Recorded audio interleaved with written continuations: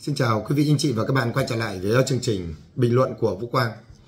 Trong trình bình luận ngày hôm nay, Vũ Quang ờ, tiếp tục cập nhật thông tin về xung đột tại Ukraine cũng như là bàn cờ quân sự trên thế giới. Ngày hôm nay ờ, thực sự đó là một ngày ờ, rất buồn dành cho chính quyền ông Zelensky nói riêng và cho cả một phương Tây tập thể nói chung. Chúng ta thấy trong 10 ngày qua là những thông điệp đến từ ông Zelensky, Tổng thư ký NATO Stoltenberg và một số quan chức diều hâu phương Tây đưa thông tin xung quanh kế hoạch chiến thắng của ông Zelensky và chương trình thượng đỉnh lần thứ hai. Nhưng lại không cập nhật về tình hình ở trên chiến trường nhiều. Vì trên chiến trường từ miền Nam cho tới à, khu vực Đông Bắc của Ukraine ngày hôm nay, nếu như Ukraine cập nhật thì còn cái gì đâu mà cập nhật nữa À mặt trận cút thì lực lượng vũ trang Ukraine đã nhận được mệnh lệnh là rút quân, nhưng mà Nga có cho rút đâu ở Kharkov thì binh sĩ đe dọa, rời bỏ vị trí. Ở tại Donbass thì một loạt các thành trì quan trọng đang dần rơi vào tay Nga. Mặt trận miền Nam thì Nga cũng đang tích cực tấn công vào UAV và bom lửa ở tại Kherson và Zaudia đau buồn hơn nữa cho đến ngày hôm nay, cái kế hoạch chiến thắng của ông Zelensky thứ nhất là Đức thì dội thẳng gáo nước lạnh vào mặt ông Zelensky rồi, bác bỏ hoàn toàn kế hoạch chiến thắng và các đồng minh ở phương Tây cũng không mấy mặn mà gì với kế hoạch đấy. Bởi bản chất cái kế hoạch chiến thắng đấy, nó không dựa trên thực tế, nó hoàn toàn phi thực tế. Chính những nghị sĩ Ukraine còn hoài nghi về nó. Chính nghị sĩ Ukraine còn hoài nghi về nó đó và một cái điểm nữa chúng ta biết rằng là Ukraine báo cáo về tổn thất của Nga là gấp hơn 10 lần so với lại Ukraine. Trong đó có nói tới tổn thất về nguồn nhân lực đấy thì nói rằng là Nga mất tới gần 700.000 binh sĩ còn Ukraine mất chưa đến 50.000 binh sĩ chưa đến 50.000. thế nhưng mà chả hiểu tại sao trong ngày hôm nay có một cái cuộc trao đổi trao đổi à, tử thi bị tử trận trên chiến trường với tỷ lệ gây rất là sốc Nga và Ukraine trao đổi đấy. Nga nhận về 89 uh, à, tử thi còn Ukraine nhận về tới 501 tử thi đây được coi là con con số gây sốc đối với lại thế giới. Con số chênh lệch nó quá lớn. Nó hoàn toàn không giống với những gì mà Ukraine nói về tổn thất của lực lượng vũ trang Liên bang Nga. Đau buồn hơn nữa là cựu tổng tư lệnh lực lượng vũ trang Ukraine là ông Zalutny đã có một cái thú nhận gây sốc về Ukraine và nói rằng Ukraine không có lối thoát không có lối thoát ở đây. Thông điệp của ông Giao đang gửi tới phương Tây tập thể. Rằng muốn chúng tôi tiếp tục chiến đấu để chống lại Nga và bảo vệ quyền lợi của các vị, thì các vị cần phải tăng cường viện trợ nhiều hơn nữa cho Ukraine chứ thực trạng viện trợ như bây giờ. Thì Ukraine có hy sinh tới người cuối cùng cũng không thể đẩy lùi được quân Nga. Vì quân Nga đang có những đà tiến công nhanh chưa từng có khiến cho Kiev còn phải hoảng sợ cơ mà. Đại sứ Ukraine tại Anh là, và là cựu tổng tư lệnh lực lượng vũ trang Ukraine ông Zaluni nói này. Trong một bài phát biểu tại à, viện quan hệ quốc tế hoàng gia, ông thừa nhận rằng trong cuộc đối đầu quân sự với Nga, Ukraine đã ở tình thế gần như là vô vọng. Gần như là vô vọng. Nhắc lại các cháu vẹn vàng, đây là ông Zaluni nói. Ở tại viện hoàng gia của nước Anh nhé. Thông tin này đủ sẵn thực chưa? Khi mà Giao nói về điều này, điều đó cho thấy tình hình ở trên chiến trường là rất biết bác, rất bi thảm. Chờ đợi duy nhất là quân Nga. Phía Nga đưa ra lời phán quyết thôi. Trong một bài phát biểu thì ông Giao nói rằng chúng tôi thấy chúng tôi thấy này mình đang ở trong tình trạng chiến tranh kéo dài và theo ý kiến cá nhân của tôi thì việc thoát khỏi nó dường như là không thể. Thoát ra khỏi nó là không thể.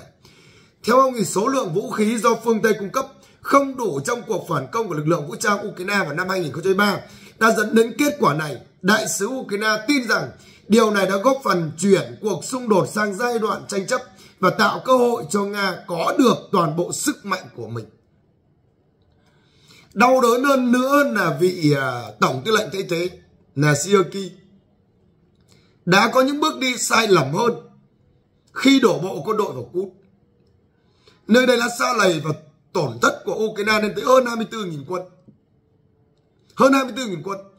Và lại bỏ trống hoàn toàn mặt trận ở tại miền Đông, mặt trận Donbass.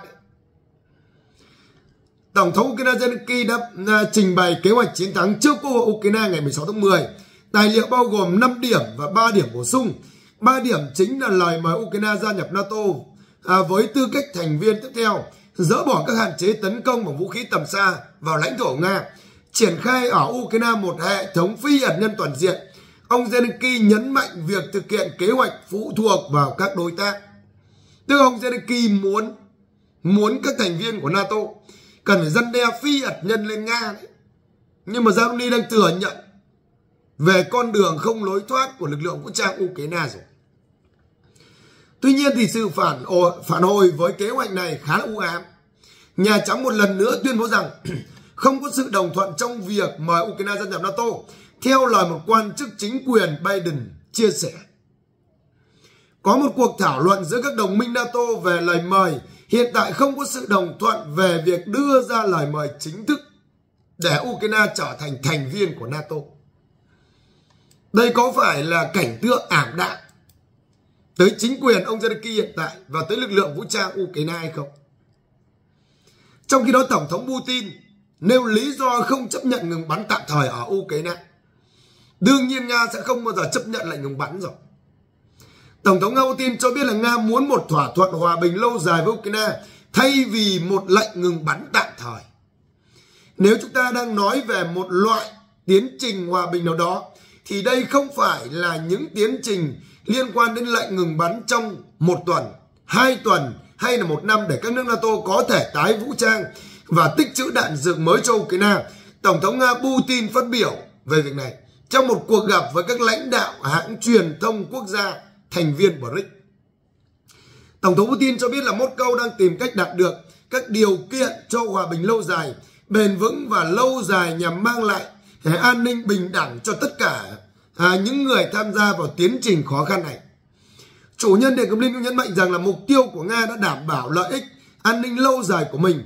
Ông nói rằng là Nga hiểu và tôn trọng mong muốn quyết tâm của những à, à của những người bạn tại BRICS và những nơi khác nhằm giúp cuộc khủng hoảng cuộc khủng hoảng Ukraine sẽ được giải quyết một cách nhanh chóng và tốt nhất, càng sớm càng tốt. Một câu mong muốn chấm dứt xung đột ở tại Ukraine càng sớm càng tốt. Nhưng Hoa Kỳ đâu có muốn điều này. Hoa Kỳ muốn nhìn thấy một nước Nga suy yếu. Hoa Kỳ muốn nhìn nhân dân Nga xuống đường để phản đối chính quyền Tổng thống Putin. Đấy là cái Hoa Kỳ muốn. Lời mong muốn này của phương Tây tập thể đã hoàn toàn vào ngõ cụt. Hy vọng để khôi phục lại sức mạnh cho lực lượng vũ trang Ukraine cũng đi vào ngõ cụt rồi. Nga mở chiến dịch quân sự đặc biệt ở Ukraine từ tháng 2 năm 2022 một câu nhiều lần tuyên bố vẫn ngỏ vấn đề ngỏ khả năng đàm phán, song phải dựa trên thực tế của chiến trường. Ngoài ra trong một số điều khoản hòa bình, Nga yêu cầu Ukraine phải can, cam kết trung lập, không gia nhập NATO, phi hạt nhân, phi phát xít và phải tôn trọng không gian an ninh của Liên bang Nga nữa. Cả hai bên đang đưa ra những điều kiện mà khó có thể chấp nhận, cùng nhau chấp nhận. Nhưng phía Ukraine đang đưa ra những thông điệp trong khi bản thân mình đang ở thế yếu. Thay bằng điều đó thì Ukraine lên bước vào bàn đàm phán để vừa đánh vừa đả Nếu như Ukraine nhận được những khí tài lớn từ phương Tây để củng cố cho tình hình trên chiến trường và áp đảo Nga, lúc đó mới ra điều kiện với Nga được. Chứ thực trạng bây giờ kẻ thất bại thì không thể ra điều kiện với Nga được. Ờ, trên chiến trường thì lực lượng của Kiev đang rút chạy một cách hỗn loạn ở tại Cút nhưng tìm đường tháo chạy nơi đây quá khó khăn với lực lượng vũ trang Ukraine rồi. Nga đã được bước đột phá quan trọng ở Cút khi ồ ạt tung ờ, đội hình xe tăng lớn một ờ, à, đột kích về phía về phía một số ngôi làng tạo ra một vạc dầu lớn ở phía bắc bao vây toàn bộ cụm binh của lực lượng vũ trang Ukraine ngày hôm nay ở khu vực này. Lực lượng ờ, quân đội của Nga đã đạt được một bước đột phá quan trọng ở khu vực Cút khi ồ ạt tung đội hình xe tăng lớn đột kích về phía đông theo các hướng. À, bước tiến này đã chính thức tạo ra một vạc dầu lớn ở phía bắc, bao vây toàn bộ cụm binh lực lượng vũ trang Ukraine. trong khi Nga còn à, quay lại một cái cảnh toán lính của lực lượng vũ trang Ukraine tháo chạy và bỏ lại toàn bộ đó là khí tài đang diễn ra do rút lui trong hỗn loạn các đơn vị của Ukraine bỏ lại nhiều thi thể binh sĩ đã đã thiệt mạng. Nên lực lượng một câu đang xử lý việc đó là chôn cất họ. Các hình ảnh được uh, định vị địa lý mới nhất trên uh, các hướng như là Kubiang cho thấy là lực lượng một câu uh, cách con sông Okin khoảng 1 km bước phát triển này có thể đưa cây cầu quan trọng ở Senkove vào tầm kiểm soát của hỏa lực Liên bang Nga. Hoạt động của lực lượng mốt câu cũng đang tăng đều đặn ở tại Cha Sốc. Theo một nhà quan sát thì à, lực lượng đã chiếm được nhiều khu vực lớn dọc theo kênh đào ở phía nam. Tại Borovka thì quân đội Nga đang tập trung à, toàn lực toàn lực này tại đó thì các mũi xung kích của họ được cho là đã giành được quyền kiểm soát hỏa lực hay cắt đứt hầu hết những tuyến đường tiếp tế quan trọng của lực lượng. Lực lượng Kiev gần như đã bị bao vây thành phố bên bờ vực của sự sụp đổ mất Borovka, Ukraine sẽ không có cơ hội để chi viện ở chiến trường. Và con đường cuối cùng lực lượng vũ trang Ukraine ở nơi đây là đầu hàng vô điều kiện trước quân Nga. Với những thông tin trên chiến trường và lời thú nhận đau đớn và gây sốc đến từ ông Zelensky, nó đang phơi bày sự thật của chính quyền ông Zelensky và phơi bày sự thật thất bại ở trên chiến trường Ukraine ngày hôm nay. Và cái lỗi mà ông Johnny đưa ra là do phương Tây viện trợ không đủ, quá yếu kém. Trong cuộc phản công năm 2023 này. Trong khi đó báo Đức chia sẻ rằng là phương Tây không hài lòng với sự leo thang của Tổng thống Zelensky ngày hôm nay. Zelensky ngày hôm nay chỉ đang đưa ra những thông điệp mang tính chất khẩu hiệu, mang tính chất là lôi kéo Mỹ và NATO vào cuộc chiến và đang tự thừa nhận cho sự thất bại của mình thôi chứ không mang không tạo ra được tiếng vang cho lực lượng trên chiến trường những người đứng đầu các quốc gia phương Tây không hài lòng với sự leo thang của Tổng thống Ukraine Zelensky, trong khi Tổng thống Mỹ Joe Biden muốn tránh mặt người đồng cấp tờ báo Đức chia sẻ. Phương Tây tập thể đang thờ ơ và lạnh nhạt với những lời tuyên bố của ông Zelensky gần đây. Tờ báo cũng viết rằng là việc các à, à việc các cuộc à, tham vấn ở Berlin ấy, hiện đang diễn ra mà không có sự tham gia của dân Kim có thể cho thấy sự không hài lòng của phương Tây vì ông ta đang phát triển một xu hướng leo thang nguy hiểm và có thể xảy ra cuộc xung đột trực tiếp giữa Nga và NATO. Tổng thống Mỹ rồi uh, à, Joe Biden ấy, đã hội đàm song phương với Thủ tướng Đức Olaf và Tổng thống và Tổng thống và Tổng thống và và Tổng thống Tổng thống về ở điều nào tại Berlin theo Nhà Trắng thì họ đã thảo luận kế hoạch chiến thắng của ông Zelensky, tình hình trên chiến trường, triển vọng, xung đột trong tương lai và mọi thứ đang trở lên khó khăn hơn. Và Joe Biden đi tới Đức để gặp Thủ tướng và Tổng thống Đức, thế nhưng lại không có mặt của Zelensky. À, Berlin còn chính à, phía, phía Berlin còn trích dẫn đấy các nguồn tin bình luận rằng là Joe Biden đã tìm cách tránh mặt người đồng cấp Ukraine trong các chuyến thăm châu Âu và chơi trò trốn tìm với ông ấy. Tuần trước ông Joe Biden đã hủy chuyến thăm uh, căn cứ quân sự uh, của Mỹ ở tại uh, Đức với lý do cơn bão Normanton. Ông Zelensky ban đầu cũng được cho là đến thăm uh, đến thăm trung tâm huấn luyện đấy, nhưng cuối cùng không có gì xảy ra. Theo các báo cáo, đó là một chuyến đi chọn đường à, dọn đường cho kế hoạch chiến thắng của ông Zelensky tại Ukraine. Nhà báo cho rằng là những phản ứng như vậy có liên quan đến các kế hoạch được cho là các nước phương Tây nhằm đạt được thỏa thuận ngừng bắn tại Ukraine vốn đang bị cản trở vì các yêu cầu của Kiev. Thông tin dành cho chính quyền ông Zelensky ngày hôm nay từ châu Âu cho đến ờ, châu Mỹ và kéo về chính chiến trường Ukraine. Những thông tin ảm đạm, u tối, bước vào ngõ cụt và không có lối thoát. Không phải tự dưng mà Zaruni đưa ra thông điệp đáng buồn như vậy, báo động như vậy cho lực lượng vũ trang Ukraine. Còn à, các thế lực thù địch, các diễn đàn ngoại vi thì vẫn ca ngợi Ukraine vẫn đang chiến thắng áp đảo Nga trên chiến trường. Không biết là áp đảo ở đâu thì chưa rõ. Chỉ thấy rằng quân đội Ukraine đang tháo chạy và đe dọa chỉ huy là rời bỏ vị trí chiến đấu của mình. Vì họ không nhận được thêm đạn dược khí tài để chiến đấu đáp trả lại quân Nga trước đà à, ờ, tiến lên như vũ bão. Báo chí cũng nghĩa lộ về món quà mà Ukraine sẽ có thể nhận được từ đồng minh của mình. Xe tăng Abraham của Úc sẽ được chuyển giao cho Ukraine cần được bảo trì rất nhiều. Một tạp chí chia sẻ. Chiếc Abraham này đến ờ, đến ờ, thị, chiến trường Nga nó cũng sẽ bốc cháy như những chiếc Abraham đã có mặt ở nơi đây. Đây là một món quà nhưng nó chỉ là món quà động viên chứ không phải là món quà mang tính chiến lược để giúp cho lực lượng vũ trang Ukraine có thế áp đảo trước Nga trên chiến trường được. Đức đề xuất biện pháp mới do kế hoạch của Zelensky. Đây là sự tống dọa. Nói rằng đây là sự tống dọa. Hành vi tống tiền hạt nhân của Ukraine sẽ không thể không bị trừng phạt. Thành viên quốc hội của Đức, của Đảng Liên minh vì lý trí và công lý chia sẻ điều này trên mạng xã hội X. Ông Zelensky gần đây đã có những yêu cầu. Một là Ukraine phải trở thành thành viên NATO. Hai là phải có vũ khí hạt nhân. Không ít nhất bây giờ phương Tây cần phải dân đe phi hạt nhân bằng, bằng cách triển khai tên lửa tầm xa trên đất nước Ukraine để gây sức ép cho Nga vào bàn đàm phán. Tức buộc Nga phải thất bại. Còn nếu như Nga không nghe thì họ sẽ khai hỏa và xóa sổ những mục tiêu quân sự sâu trong lãnh thổ của Liên bang Nga. Nhưng chỉ là lời tuyên bố tuyệt vọng đến từ ông Zelensky thôi. Điều này à, điều này điều này ngày càng trở nên điên rồ và rõ ràng hơn. Kế hoạch chiến thắng của Zelensky là một kế hoạch rất nguy hiểm cho một cuộc chiến tranh thế giới. Việc tống dọa hạt nhân của Ukraine nhằm mục đích nhanh chóng gia nhập NATO không thể không bị trừng phạt. Đức không nên cho phép mình bị cuốn sâu hơn vào cuộc chiến hiện nay. Nghị sĩ này cũng kêu gọi ngừng cung cấp vũ khí cho Ukraine và tiến tới giải pháp hòa bình cho cuộc xung đột và thông qua đó là ngoại giao. Chứ không phải thực hiện các yêu cầu mà ông Zelensky đưa ra trong những ngày gần đây.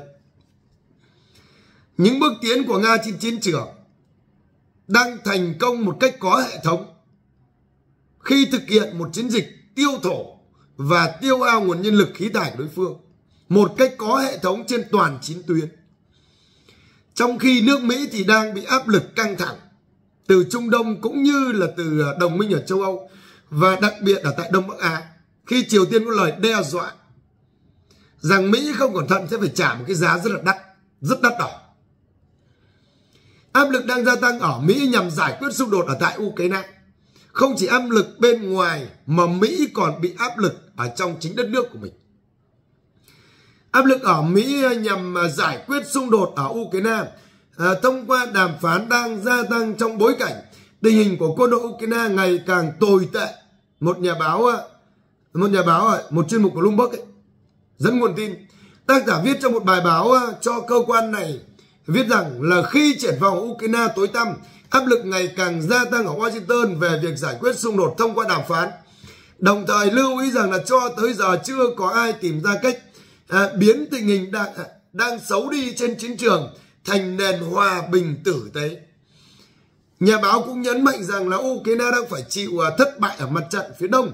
Lực lượng của nước này thiếu à, thiếu nhân lực và đạn dược và cuộc tấn công à, vào khu vực cút không làm thay đổi tình hình của, tình hình đối với lực lượng vũ trang Ukraine.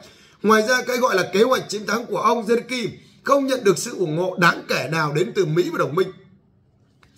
Tác giả bài báo tin rằng là không có ứng cử viên tổng thống Mỹ nào trong cuộc bầu cử sắp tới có thể chấm dứt xung đột ở Ukraine bằng kế hoạch của họ. Ông coi kế hoạch của cựu tổng thống Mỹ Donald Trump là đơn giản nhất, bao gồm việc cần phải đưa Liên bang Nga và Ukraine vào bàn đàm phán càng sớm càng tốt và dọa hai bên và hậu quả nếu họ từ chối sẽ giải quyết. Người viết chuyên mục này tin rằng ý định, ý định ngừng viện trợ của Mỹ cho Ukraine của Trump sẽ nhanh chóng khiến Kiev phải quỳ gối. À, kế hoạch của Phó Tổng thống Mỹ Harris như tác giả đã lưu ý là có thể là công bố gói viện trợ mới cho Kiev. Tuy nhiên theo tác giả kế hoạch như vậy có điểm yếu trong cách tiếp cận à, trước nay à, vẫn đang được áp dụng nhưng vẫn chưa thể buộc à, Liên bang Nga từ bỏ mục tiêu của mình. Người viết chuyên mục này cho rằng là một lệnh ngừng bắn được đề xuất dọc theo các chiến tuyến hiện tại có thể chia sẻ các đồng minh NATO phân chiến tuyến giữa một à, bên à, giữa giữa các bên ấy là những người ủng hộ bất kỳ giải pháp nào với bên còn lại cho rằng là điều này có thể củng cố vị thế cho Moscow. Nhưng mà tình hình Ukraine ngày hôm nay nếu như bước vào đàm phán sớm Ukraine sẽ giữ lại những vùng lãnh thổ còn lại. Còn nếu như Ukraine không chịu và muộn bước vào đàm phán, Ukraine sẽ còn bị thu hẹp lãnh thổ và Nga còn tiếp tục trưng cầu dân ý. Những vùng như Kharkov, Sumy, thậm chí là Nikolaev và cả Odessa và cả thủ đô Kiev nữa. Vì trên chiến trường đang bị tiêu hao một nguồn nhân lực vô cùng lớn. Ukraine đang không thể tiếp tục chi viện cho nơi đây. Lực lượng vũ trang Ukraine vẫn tiếp tục phải kéo căng. Mà càng kéo căng thì chiến tuyến lại càng dễ bị uh, uh, hở những cái lỗ hổng. Tạo lợi thế cho quân Nga tiến lên. Đó. Nga đang giành thêm nhiều lãnh thổ và áp sát các huyết mạch hậu cần quan trọng Ukraine ở trận miền Đông. Nga thông báo giành thêm lãnh thổ đôi nhất trong mục tiêu tiến sát huyết mạch hậu cần Ukraine trong khu vực Bodrovka ngày hôm nay đang nằm trong thế bao vây của quân Nga.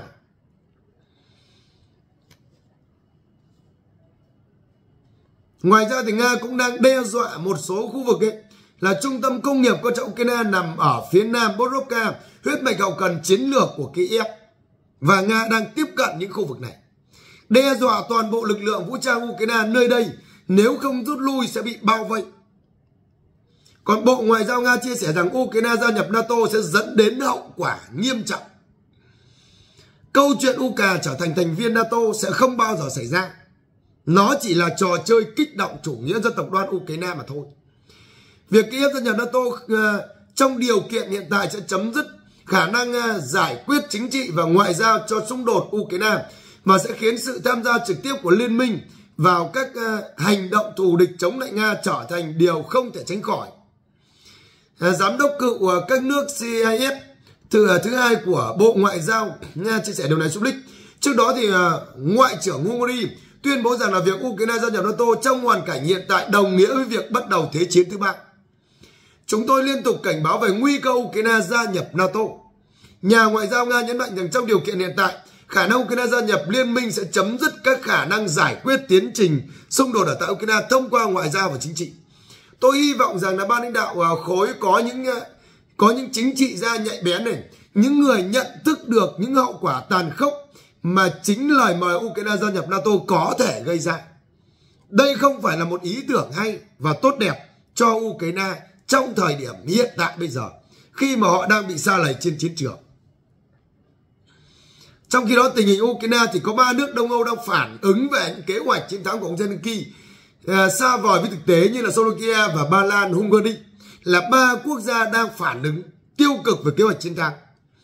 Và tất cả chúng ta đều biết rằng kế hoạch chiến thắng của Ukraine nó không dựa trên thực tế chiến trường và viện trợ phương Tây mà nó chỉ dựa trên sự thất bại và thú nhận cho sự thất bại của mình mà thôi.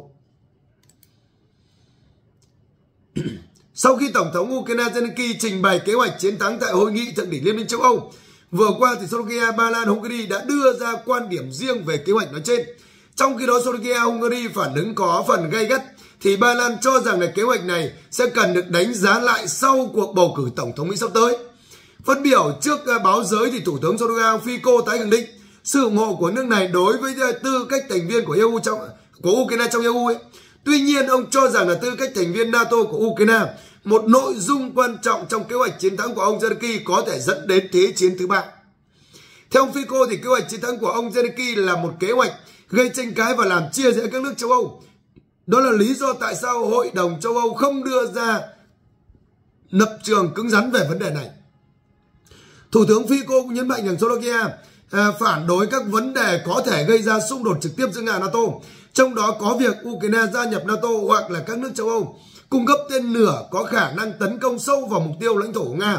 Slovakia không muốn tập trung vào sự ờ, hợp tác có ý nghĩa và hợp lý với Ukraine trong khi đó, Thủ tướng Orbán tuyên bố Hungary không chấp nhận kế hoạch chiến thắng của Tổng thống Zelensky vì kế hoạch này không có lợi cho Hungary. Và thực tế thì kế hoạch này nó chỉ là trò chơi khẩu hiệu hô hào và tuyên truyền mà thôi.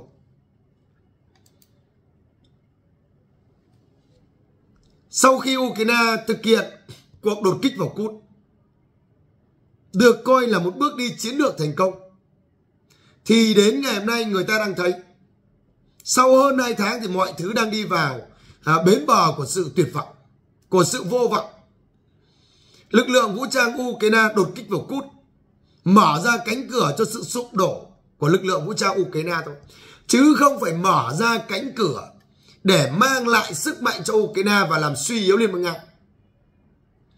Trong khi đó thì Pháp ủng hộ kế hoạch chiến thắng của ông Zelensky bởi vì chúng ta biết rằng là Pháp đang rất a cay với những gì mà Nga đang làm ở tại châu Phi ngày hôm nay có thể khiến Pháp mất toàn bộ toàn bộ thuộc địa ở tại à, châu Phi đấy.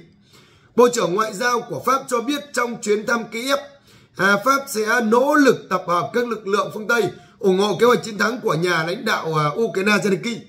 Chiến thắng của Nga sẽ là sự tồn uh, tôn vinh luật pháp của kẻ mạnh nhất và đẩy trật tự quốc tế đến bờ vực của hỗn loạn. À, ông phát biểu với các phóng viên trong cuộc họp báo với người đồng cấp của Ukraine đó là lý do tại sao các uh, cuộc trao đổi của chúng ta phải giúp chúng ta đạt được uh, tiến triển trong kế hoạch chiến thắng của Tổng thống Dân Kim và tập hợp các càng nhiều quốc gia càng tốt trong cuộc uh, trong xung quanh đó là kế hoạch để giúp cho Ukraine chiến thắng. Thế nhưng mà kế hoạch chiến thắng của ông Zelensky đưa ra thì đang lôi kéo cả NATO cuộc chiến. Đó.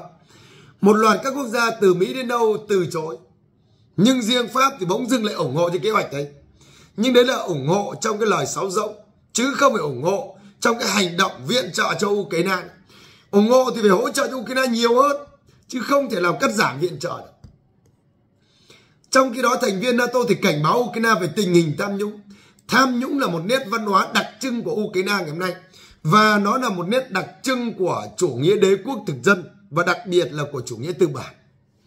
Hợp thức hóa việc hợp thức hóa việc việc tham ô đó hối lộ đấy. Đúng không?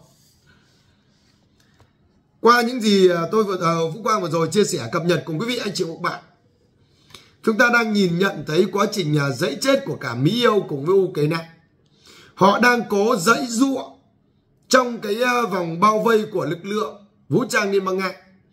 Họ đang dãy dụa trước khi có thể chút hơi thở cuối cùng.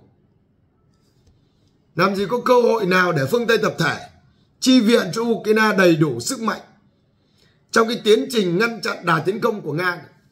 Không thấy có một cái cơ hội nào ở đây dành cho Ukraine trong khi đó Hoa Kỳ còn đang bị áp lực bởi các đồng minh ở tại à, Đông Âu và tại Đông Bắc Á. Phía Triều Tiên đưa ra lời cảnh báo đanh thép Mỹ có thể phải trả một cái giá rất là đắt đó còn à, Israel ấy, thì đã điểm GG để thực hiện đòn đáp trả vào Iran rồi. Thì thế giới cũng đang nín thở chờ đợi xem Iran sẽ đáp trả Israel như thế nào. Và có thể chỉ đáp trả trong một phạm vi Iran có thể chấp nhận được để tránh một cuộc đáp trả đến từ Iran vì Iran cũng đã để cả nghìn quả tên lửa trong trạng thái sẵn sàng đáp trả trong trường hợp Mỹ và Israel thực hiện đòn tấn công tổn thất tới đó là Iran ngày hôm nay tức là chảo lửa Trung Đông thùng thuốc súng Trung Đông ngày hôm nay đang mấp mé trên bờ vực châm ngòi bùng nổ toàn diện. Mà bùng nổ Trung Đông bây giờ chỉ mang lại lợi ích cho Nga, chứ không mang lợi ích cho Mỹ. Và khi mang lại lợi ích cho Nga thì đương nhiên Hoa Kỳ không muốn nó nổ ra trong bối cảnh hiện tại. Chắc chắn sẽ không muốn. Vì nó nổ ra phải mang lại lợi cho Hoa Kỳ chứ. Đó. Vậy là một lúc Hoa Kỳ đang phải hỗ trợ cho tình hình ở ba tử huyệt quan trọng là Đông Âu, Trung Đông và Đông Bắc Á Cả ba tử huyệt này đều nằm trên vành đai con đường quan trọng của vòng tròn kinh tế Đại Âu của cả Mỹ và châu Âu đã đặt ra. Thì cả ba khu vực đang bị điểm huyệt. Trong lúc mà chương trình à, nghị sự của BRICS đang diễn ra ở tại à, Liên bang Nga, nó sẽ có một tiến trình thay đổi rất lớn để bàn luận về một đồng tiền à, riêng của BRICS cũng như nền tảng thanh toán tài chính riêng. Hiện tại BRICS đang là trung tâm động lực phát triển kinh tế thế giới chứ không phải là phương Tây hay là G7 nữa. Hiện tại bây giờ BRICS đã vượt GDP của G7 rồi. Và ở tại BRICS với những các quốc gia tham gia đã chiếm tới 33% lãnh thổ trên thế giới. Và ở nơi đây nó lại tập trung nhiều à, tài nguyên thiên nhiên, dư địa phát triển và thị trường tiêu thụ lớn, nguồn lao động dồi dào. Điều mà G7 không có, phương Tây không có. G7 và phương Tây đều không có. Đó thì trước những tình thế mà đang à, đang đang bất lợi cho Mỹ mà bản thân Mỹ thì lại không thể bỏ những việc lớn ở Trung Đông và Đông Âu thì lợi thế có phải là dành cho UK và bờ, à, dành cho Nga và bờ cộng hay không? Có phải Hoa Kỳ đang bị phần còn lại của thế giới bắt đầu dần dần à, tách rời và xa rời cái đồng đô hay không? Nó là con đường để khai tử thế giới đơn cực đấy. Không còn cái à, thế giới do Mỹ dẫn đầu nữa. Đây là những gì Vũ Quang cập nhật, chia sẻ, bình luận cùng quý vị anh chị và bạn trong buổi nói chuyện ngày hôm nay. Rất cảm ơn quý vị anh chị và bạn đã quan tâm theo dõi ủng hộ cho Vũ Quang. Xin chào và hẹn gặp lại quý vị anh chị và bạn vào chương trình bình luận tiếp theo.